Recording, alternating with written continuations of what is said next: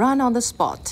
တနေရာထဲမှာရက်ပြီးတော့ပြေးတာဖြစ်တယ်အဲ့တော့ပြေးတဲ့ပုံတိုင်းနေရာယူမယ်ခန္ဓာကိုယ်ကိုဖြောင်းထားမယ်ပခုံးကိုချထားမယ်